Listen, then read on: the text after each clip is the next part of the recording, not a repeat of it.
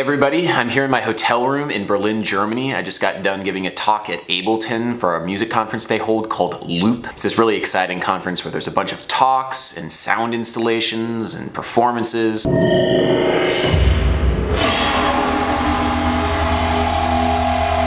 I gave a talk on something that is very near and dear to my heart, polyrhythms. New Horizons in Music, Polyrhythms with Adam Neely. There'll be a QA session after that, so get your pen and paper and your questions ready. We'll see you at 12.30. We need to use math. to circle every x numbers. In this case, x is 2, so we're going to go left to right, left to right, in order kind of like how we would read. That specific talk has a lot to do with some of the things that I talk about all the time on this channel, so I might post some of that stuff later, and until I do that, let's do a Q&A.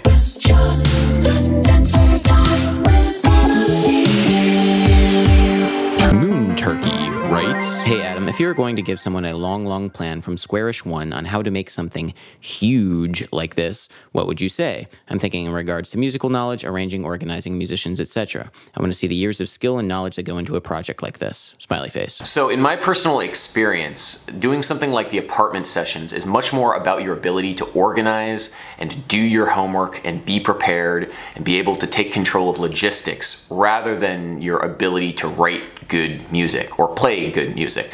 Playing and writing good music should almost be a default. It should be assumed that you can write something really cool or orchestrate something really cool and you know have people who can play that. But making sure it goes off well is very important. And you know, the people that do apartment sessions really put in the time to know all of the details necessary in order to execute it. For example, when I got the sheet music for the song that we were going to record, it was here. They prepared all of the page turns so that the person to the left of me would do the page turn so I didn't have to stop playing bass. It says actually on the part, Sarah page because they organized it so they knew exactly where everybody was going to be in the apartment so that they could turn each other's pages. I absolutely love that level of detail because it shows that they are absolutely committed to making this crazy thing a reality. And you know, knowing these sorts of details usually just comes from doing it a lot because you'll run into situations where you will waste time because some detail wasn't taken care of. Like maybe there was an accidental that was left off of a part and that is a good five minutes of trying to figure out like which note goes here and that's, you know, that's time wasted. The amount of time and attention to detail that's necessary for these things is pretty incredible. And so the more that you really do your homework ahead of time, the better a product you're going to get. You know, I've said before on these Q&As that you should never get hung up on the details, but not getting hung up on the details doesn't mean ignoring the details. The more details that are included, the better. It's just you don't want to spend too much time on any one thing. Basically, the more attention to detail, the better. Corrda, 1993 writes, Did Jam of the Week make your new intro? Yeah, the guy who did the animation for my new intro is a guy by the name of Simon Fransman.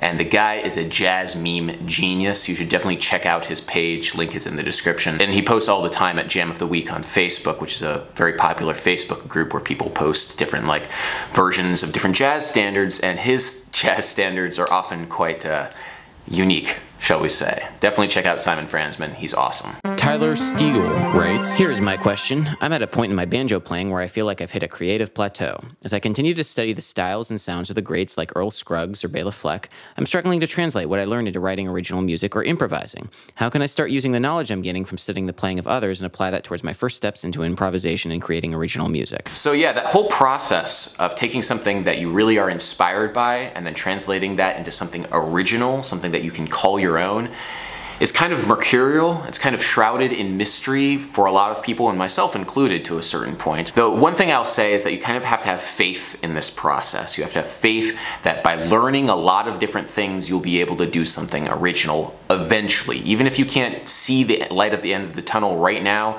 you will eventually be able to do that because that's how everybody essentially learned. They found something that they really liked, they really got into it, they studied it for a very long time, and then eventually they were able to say something in their own own voice. When you learn something and when you're studying something, what you're trying to do, what you're attempting to do, is you're trying to develop a vocabulary of licks, tricks, harmonies, chords, melodies, all sorts of things that are in the source material, and you're trying to learn as much of that as you can. And the thing I, I'd like to think about is the bigger a vocabulary you have, the more things you will be able to say. So keep that in mind. Learn as much as you can, keep adding to your bag of tricks, and eventually you have faith in the process. You will be able to say something original that feels good for you. Zachary Shirley writes Hey Adam, I doubt you're going to read this, but I have a question that I haven't found anywhere. Why do different cultures use different types harmonies? For example, Appalachian harmony is very different from the typical harmony found in Indian music. Sorry if this is a stupid question, just curious. Thanks, Adam. So whenever you listen to any song that has any kind of harmony in it, doesn't matter what kinds of chords, just harmony in general, it's going to owe pretty much all of that aspect, the harmonic aspect, to the European classical music traditions of the past thousand years. Because European art music is really the only style of music or tradition of music across the world that has been obsessed with the idea of polyphony, having multiple melodies occurring at the same time.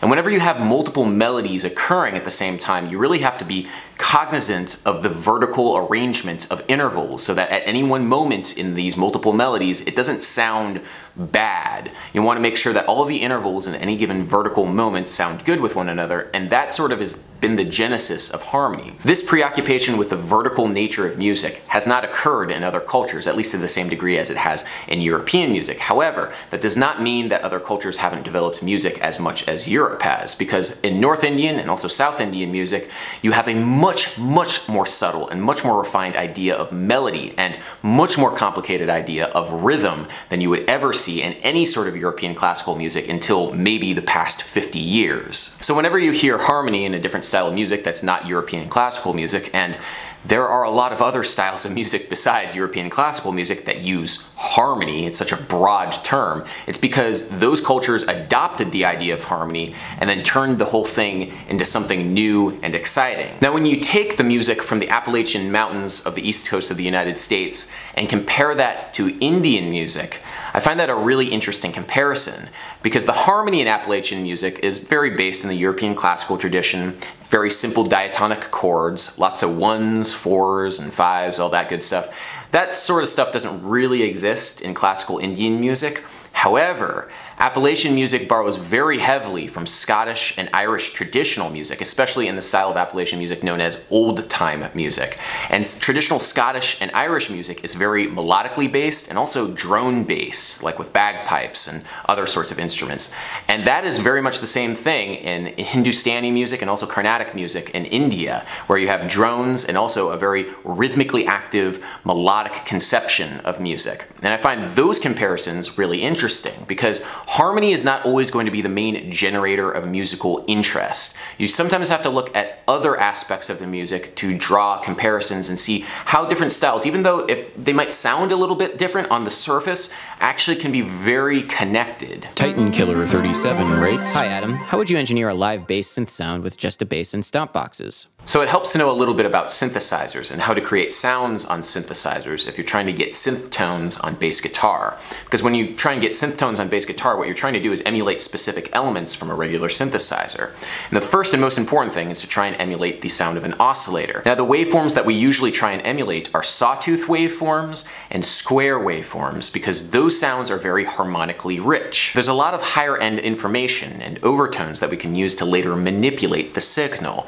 Now the way that we can achieve this sort of sawtooth or square waveform is with a fuzz pedal. And most people when they're trying to get synth tones on bass guitar use something called a gated fuzz. Most synthesizers allow you to adjust the release of a note so that when you release the tone, nothing occurs afterwards. When you're playing bass guitar or regular guitar with a high gain fuzz pedal or a distortion pedal, releasing the note causes there to be a lot of extra noise that has to sort of dissipate before there is complete silence. Having a gated fuzz will cut off the end of the note and that gives a little bit more of a synthy feeling when you're playing so you can play more staccato with a very harmonically rich tone. Most synths also have a filter which lets you shape the sound of a sawtooth waveform or a square waveform, bringing in harmonic information and taking it out to create sort of wow or pew sounds. You can get the wow or pew sounds on bass guitar with a filter pedal. So you would have a gated fuzz, a filter pedal, and then optionally before everything, I sometimes use an octave pedal. Octave pedals are optional, but they definitely give a certain beef and girth to the sound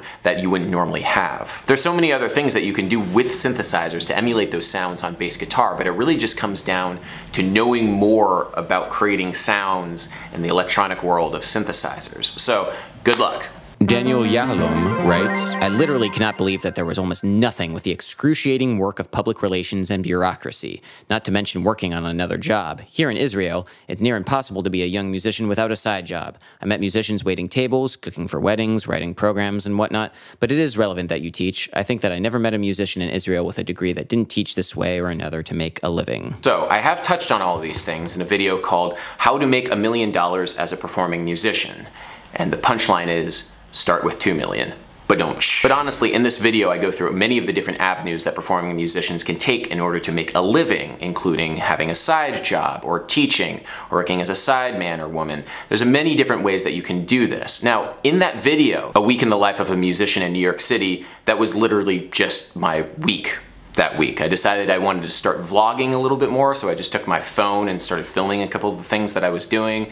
I played like three weddings, I did a bunch of gigs, I taught, you know, the general musician grind. I'm not always gonna be filming like me sitting on the subway for an hour, or me writing emails, or logistics, or you know, I didn't have another job at the time, so why would I film that? Know that when you're watching a vlog, it's not always going to be all-encompassing for all of humanity. You're just watching one person and what they do. And I feel like I did a pretty decent job showing that it was possible and I was doing it to make a living as a performer and teacher in New York. If you personally want to tell a story about the bureaucracy that you're dealing with, or the public relations that you deal with, or the things that I didn't mention in my particular video, I encourage you to do that, or any other musician to do that, because storytelling through vlogging can be very, very powerful, but I just chose not to do it that particular week. Anyway guys, this has been a short Q&A. I'm sorry that I can't say longer. I have to get back to loop. So uh, yeah, cue uh, exit cards.